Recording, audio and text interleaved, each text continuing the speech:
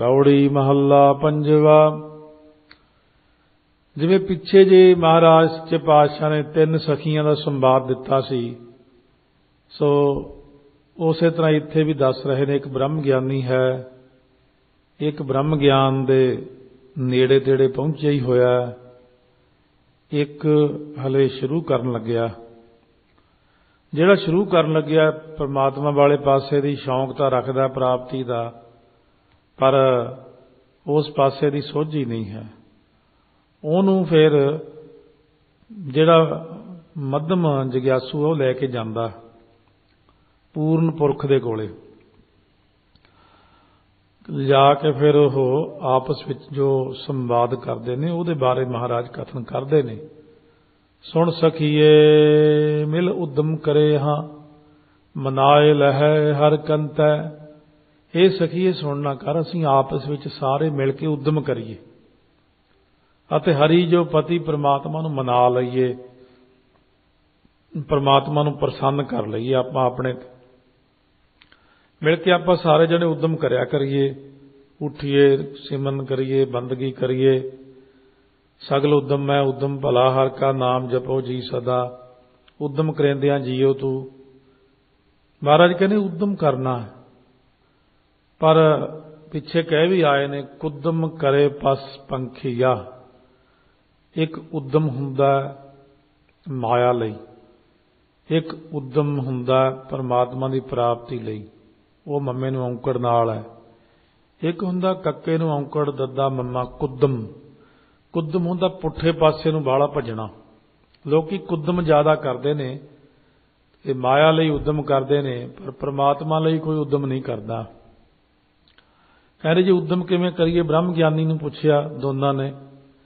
ਕਹਿੰਦੇ ਦੇਖੋ, ਐਂ ਗੱਲ ਹੈ, ਪਰਮਾਤਮਾ ਦੀ ਪ੍ਰਾਪਤੀ ਲਈ ਕੁਝ ਅਸੂਲ ਹੁੰਦੇ ਨੇ। ਉਹ ਤੁਹਾਨੂੰ ਅਪਣਾਉਣੇ ਪੈਣੇ ਆ। ਮਾਨ ਤਿਆਗ ਕਰ ਭਗਤ ਠਗੌਰੀ, ਮੋਹ ਸਾਧੂ ਸੰਤੈ। ਸੋ ਇਸ ਕਰਕੇ ਮਾਨ ਹੰਕਾਰ ਨੂੰ ਤਿਆਗ ਕੇ ਸਾਧੂਆਂ ਦੇ ਮੋਹ ਸਾਧੂ ਮੰਤੈ।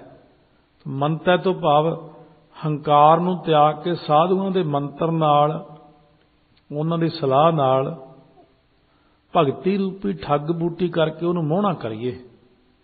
ਜਿਵੇਂ ਠੱਗ ਹੁੰਦੇ ਨੇ, ਉਹਨਾਂ ਕੋਲ ਇੱਕ ਬੂਟੀ ਹੁੰਦੀ ਹੈ, ਪੁਰਾਣੇ ਟਾਈਮਾਂ 'ਚ ਉਹ ਮਲ ਕੇ ਤੁਰੇ ਜਾਂਦੇ ਬੰਦੇ ਨੂੰ ਸੰਘਾ ਦਿੰਦੇ ਸੀ, ਉਹ ਬੇਹੋਸ਼ ਹੋ ਜਾਂਦਾ ਸੀ। ਸੋ ਇੱਥੇ ਮਹਾਰਾਜ ਨੇ ਉਹੀ ਅਲੰਕਾਰ ਦਿੱਤਾ ਕਿ ਹੋਰ ਉਹ ਪ੍ਰਮਾਤਮਾ ਕਿਸੇ ਹੋਰ ਠੱਗ ਬੂਟੀ ਨਾਲ ਬਸ ਨਹੀਂ ਆਉਂਦਾ, ਜੇ ਕੋਈ ਕਹੇ ਮੈਂ ਠਗਣੀਆਂ ਮਾਰ ਲਵਾਂ, ਚਲਾਕੀਆਂ ਮਾਰ ਲਵਾਂ, ਸ਼ਾਰਟਕਟ ਮਾਰ ਲਵਾਂ। ਮਹਾਰਾਜ ਕਹਿੰਦੇ, ਨਹੀਂ, ਉਹ ਭਗਤੀ ਰੂਪੀ ਠੱਗ ਬੂਟੀ ਕਰਕੇ ਉਹਨਾਂ ਮੋਹਣਾ ਕਰੀਏ। ਭਗਤ ਠਗੌਰੀ ਮੋਹ ਹੈ, ਸਾਧੂ ਮੰਤ ਹੈ। ਜਦੋਂ ਆਪਾਂ ਭਗਤੀ ਰੂਪੀ ਠੱਗ ਬੂਟੀ ਨਾਲ ਉਹਨੂੰ ਮੋਹਣਾ ਕਰਾਂਗੇ, ਸਖੀ ਵਸ ਆਇਆ, ਫਿਰ ਛੋੜ ਨਾ ਜਾਈ।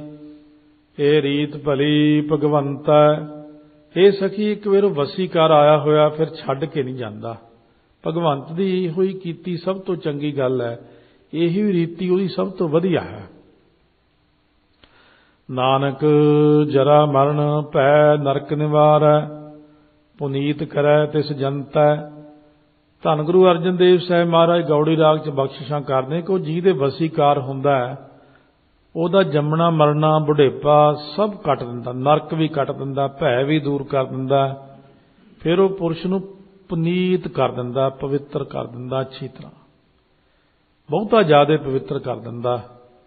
ਸੁਣ ਸਖੀਏ, ਇਹ ਭਲੀ ਬੇਨਤੀ, ਇਹੋ ਮਤਾਂਤ ਪਕਾਈ ਹੈ ਇਹ ਸਖੀ, ਮੇਰੀ ਇਹ ਭਲੀ ਬੇਨਤੀ ਸੁਣ ਤੂੰ ਧਿਆਨ ਨਾਲ। ਅਸੀਂ ਆਪਸ ਵਿੱਚ ਬੈਠ ਕੇ ਇਹ ਮਤਾਂਤ ਹੁੰਦਾ, ਸਿਧਾਂਤ ਪੱਕਾ ਕਰ ਲਈਏ। ਪੱਕੀ ਸਲਾਹ ਕਰ ਲਈਏ ਆਪਾਂ ਕਿ ਆਪਾਂ ਰੱਬ ਨੂੰ ਮਿਲਣ ਵਾਲੇ ਆ। ਕਈ ਤਾਂ ਹੁੰਦੇ ਨੇ ਐਵੇਂ ਹੀ, ਕਈ ਰੱਬ ਨੂੰ ਮਿਲਣ ਦੀ ਇੱਛਾ ਰੱਖਦੇ ਨੇ, ਉਹ ਇਸੇ ਪਾਸੇ ਨੂੰ ਲੱਗ ਜਾਂਦੇ ਨੇ। ਕਹਿੰਦੇ ਆਓ ਫਿਰ ਆਪਾਂ ਮਿਲ ਕੇ ਪ੍ਰਮਾਤਮਾ ਦੀ ਪ੍ਰਾਪਤੀ ਲਈ ਪੱਕੀ ਸਲਾਹ ਕਰੀਏ ਇੱਕ। ਸਹਿਜ ਸੁਭਾਏ ਉਪਾਦ ਰਹਿਤ ਹੋਏ, ਗੀਤ ਗੋਵਿੰਦਹ ਗਾਈਐ। ਆਪਾਂ ਸਹਿਜ ਸੁਭਾਅ ਸੁਤੇ ਸਿੱਧ, ਸਹਿਜੇ ਹੀ ਸ੍ਰੇਸ਼ਟ ਪ੍ਰੇਮ ਕਰਕੇ ਸੰਸਾਰਕ ਉਪਾਧੀ ਤੋਂ ਰਹਿਤ ਹੋ ਕੇ ਗੋਬਿੰਦ ਦੇ ਗੀਤ ਗਾਉਣਾ ਕਰੀਏ, ਪ੍ਰਮਾਤਮਾ ਦੇ। ਚਲੋ ਆਪਾਂ ਇਹ ਪੱਕੀ ਸਲਾਹ ਕਰ ਲਈ। ਕਲ ਕਲੇਸ਼ ਮਿਟੈ ਪ੍ਰਮਨਾਸ ਹੈ ਮਨ ਚਿੰਦਿਆ ਫਲ ਉਪਾਈਐ ਜਿਸ ਕਰਕੇ ਕਲਪਨਾ ਤੇ ਕਲੇਸ਼ ਮਿਟ ਜਾਣਗੇ, ਭਰਮ ਵੀ ਨਾਸ ਹੋ ਜਾਏਗਾ ਅਤੇ ਮਨ ਚਿੰਦਿਆ ਮਨ ਇੱਛਿਤ ਫਲ ਪਾ ਲਵਾਂਗੇ।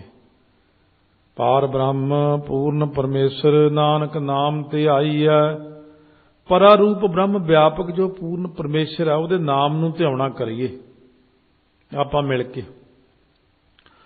ਸੋ ਹੁਣ ਮੱਧਮ ਸਖੀ ਕਹਿੰਦੀ ਹੈ, ਜਿਹੜੀ ਹਲੇ ਪ੍ਰਾਪਤੀ ਤੱਕ ਪਹੁੰਚੀ ਨਹੀਂ, ਇਹ ਤਾਂ ਅਸੀਂ ਬ੍ਰਹਮ ਗਿਆਨੀ ਦੇ ਬਚਨ।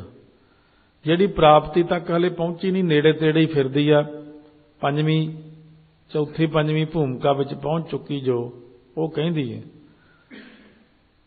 ਚੌਥੀ, ਪੰਜਵੀਂ ਇਹ ਬ੍ਰਹਮ ਗਿਆਨ ਦੀਆਂ ਸੱਤ ਸਟੇਜਾਂ ਹੁੰਦੀਆਂ ਨੇ, ਉਹਦੇ ਵਿੱਚ ਸਟੇਜ ਦੀ ਗੱਲ ਕਰਦੇ ਇੱਕ ਚੌਥਾ ਪਦ ਹੁੰਦਾ, ਉਹ ਤਮੋ ਰਜੋ ਸਤੋ ਨੂੰ ਪਾਰ ਕਰਕੇ ਆਉਂਦਾ। ਚੀਜ਼ ਇਹੀ ਹੁੰਦੀ ਆ ਸਖੀ ਇਛ ਕਰੀ, ਨਿਤ ਸੁਖ ਮਨਾਈ, ਪ੍ਰਭ ਮੇਰੀ ਆਸ ਪੁਜਾਏ। हे ਸਖੀ, ਉੱਤਮ ਮਧਮ, ਮੈਂ ਨਿਤ ਇੱਛਾ ਕਰਦੀ ਆ। ਸੁਖਣਾ ਵੀ ਨਿਤਾ ਪ੍ਰਤੀ ਮੰਨਦੀ ਆ। ਇਹ ਪ੍ਰਮਾਤਮਾ ਮੇਰੀ ਆਸਾ ਪੁਜਾਏ ਪੂਰਨ ਕਰ ਦੇਵੇ, ਮੇਰੇ ਤੇ ਮਿਹਰ ਕਰ ਦੇਵੇ। ਜੇ ਉਹਦੀ ਕਿਰਪਾ ਹੋ ਜੇ। ਚਰਨ ਪਿਆਸੀ ਦਰਸ ਬੈਰਾਗਨ, ਪੇਖੋਂ ਥਾਨ ਸੁਭਾਏ। ਚਰਨਾਂ ਦੀ ਚਾਹਵਾਨ ਤੇ ਦਰਸ਼ਨ ਦੀ ਵਿਰਾਗਵਾਨ ਹੋਈ ਹੋਈ। ਚਰਨਾਂ ਦੇ ਦਰਸ਼ਨ ਦੀ ਪਿਆਸੀ ਵਿਰਾਗਵਾਨ ਹੋ ਕੇ ਸਾਰੇ ਸਥਾਨਾਂ ਨੂੰ ਦੇਖਦੀ ਫਿਰਦੀਆਂ, ਪਰ ਪ੍ਰਾਪਤ ਨਹੀਂ ਹੁੰਦਾ। ਸੋ ਉਸ ਵੇਲੇ ਉੱਤਮ ਮੱਧਮ ਸਖੀ ਨੇ ਕਿਹਾ ਖੋਜ ਲਹੋ, ਹਰ ਸੰਤ ਜਨਾ ਸੰਗ ਸੰਮ੍ਰਿਤ ਪੁਰਖ ਮਿਲਾਏ। ਇਥੇ ਸੰਮ੍ਰਿਤ ਹੋਰ ਢੰਗ ਨਾਲ ਲਿਖਿਆ, ਸੱਸੇ ਟਿੱਪੀ, ਮੰਮੇ ਸਿਹਾਰੀ ਪੈਰ ਚਰਾਰਾ ਥੱਥਾ ਸੰਮ੍ਰਿਤ ਪੁਰਖ ਮਿਲਾਏ। ਕਈ ਜਗ੍ਹਾ ਸਿਹਾਰੀ ਨਹੀਂ ਦੀ ਉੱਥੇ ਸੰਮਰਤ ਪੁਰਖ ਮਿਲਾਏ। ਸੰਤ ਜਨਾਂ ਦੇ ਨਾਲ ਮਿਲ ਕੇ ਤੂੰ ਵਾਹਿਗੁਰੂ ਨੂੰ ਖੋਜ, ਕਿਉਂਕਿ ਅਕਾਲ ਪੁਰਖ ਦੇ ਨਾਲ ਮਿਲਾਉਣ ਨੂੰ ਸੰਤ ਹੀ ਸਮਰੱਥ ਨੇ। ਸੰਤੋ ਕੋਈ ਵੀ ਹੋਵੇ ਗ੍ਰਸਤੀ ਆ ਜਾਂ ਕੈਸਾ ਵੀ ਹੋਵੇ, ਪਹੁੰਚਿਆ ਹੋਇਆ ਹੋਣਾ ਚਾਹੀਦਾ। ਉਹ ਜਿਹਾ ਮਿਲ ਜੇ ਤਾਂ ਆਪਾਂ ਨੂੰ ਮਿਲਾ ਸਕਦਾ, ਕਿਉਂਕਿ ਬਹੁਤ ਸੌਖਾ ਤਰੀਕਾ ਦੱਸ ਦੇਵੇਗਾ। ਨਾਨਕ, ਤਿਨ ਮਿਲਿਆ ਸੁਰਜਨ, ਸੁਖਦਾਤਾ, ਸੇਵਟ ਭਾਗੀ ਮਾਏ। ਸਤਿਗੁਰੂ ਮਹਾਰਾਜ ਕਥਨ ਕਰਦੇ ਨੇ ਕਿ ਉਸੇ ਨੂੰ ਸੁਖਾਂ ਦਾ ਦਾਤਾ ਸੁਰਜਨ ਪਰਮਾਤਮਾ ਮਿਲਿਆ ਨਾਨਕ ਤਿਨ ਮਿਲਿਆ ਸੁਖ, ਸੁਰਜਨ, ਸੁਖਦਾਤਾ। ਇਹ ਮਾਏ ਸਖੀ, ਉਹ ਵੱਡਿਆਂ ਭਾਗਾਂ ਵਾਲਾ ਹੈ, ਜਿਹਨੂੰ ਪਰਮਾਤਮਾ ਮਿਲਿਆ। ਉਸ ਵੇਲੇ ਦੋਨੋਂ ਸਖੀਆਂ ਉੱਤਮ ਮੱਧਮ ਤੇ ਮੱਧਮ ਮਹਾਤਮਾ ਕੋਲ ਚੱਲ ਕੇ ਆਈਆਂ, ਆ ਕੇ ਕਿਹਾ, ਸਾਨੂੰ ਪਰਮਾਤਮਾ ਦੀ ਪ੍ਰਾਪਤੀ ਦਾ ਤੁਸੀਂ ਰਸਤਾ ਦੱਸੋ ਤਾਂ ਉੱਤਮ ਮਹਾਤਮਾ ਬ੍ਰਹਮ ਗਿਆਨੀ ਕਹਿਣ ਲੱਗੇ, ਸੁਣੋ ਭਾਈ, ਸਖੀ ਨਾਲ ਵਸਾਂ, ਆਪਣੇ ਨਾਹ ਪਿਆਰੇ, ਮੇਰਾ ਮਨ ਤਨ ਹਰ ਸੰਗ ਹਿਲਿਆ। हे ਸਖੀ, ਮੈਂ ਆਪਣੇ ਪਿਆਰੇ ਨਾਹ ਪਤੀ ਪ੍ਰਮਾਤਮਾ ਦੇ ਨਾਲ ਹੀ ਹਮੇਸ਼ਾ ਵਸਦੀ ਆ ਮੇਰਾ ਮਨ ਤਨ ਉਸ ਹਰੀ ਦੇ ਨਾਲ ਜਿਹੜਾ ਸੀ ਨਾ ਹਿਲਿਆ ਹੁੰਦਾ ਗਿੱਜ ਗਿਆ। ਇਹ ਤਾਂ ਉੱਥੇ ਹੀ ਹਿਲ ਗਿਆ, ਕਹਿੰਦੇ ਫਲਾਣੇ ਥਾਂ ਹੀ ਲੋਕੀ ਕੋਈ ਕਿਤੇ ਹਿਲ ਗਿਆ, ਕੋਈ ਕਿਤੇ ਹਿਲ ਗਿਆ, ਪਰ ਰੱਬ ਦੇ ਪਿਆਰੇ ਉਹਦੇ ਨਾਮ ਵਿੱਚ ਹੀ ਹਿਲ ਗਏ। ਉਹ ਹਮੇਸ਼ਾ ਉਹਨੂੰ ਨਾਲ ਅੰਗ ਸੰਗ ਦੇਖੀ ਜਾਂਦੇ ਨੇ। ਉਹਨਾਂ ਨੂੰ ਦੂਜੀ ਚੀਜ਼ ਭਾਉਂਦੀ ਹੀ ਨਹੀਂ। ਸੁਣ ਸਖੀਏ, ਮੇਰੀ ਨੀਂਦ ਭਲੀ, ਮੈਂ ਆਪਣਾ ਪਿਰ ਮਿਲਿਆ। ਇਹ ਸਖੀਏ ਸੁਣਨਾ ਕਰ, ਮੇਰੀ ਸ਼ਾਂਤੀ ਰੂਪੀ ਨਿੰਦਰਾ ਬਹੁਤ ਚੰਗੀ ਹੈ।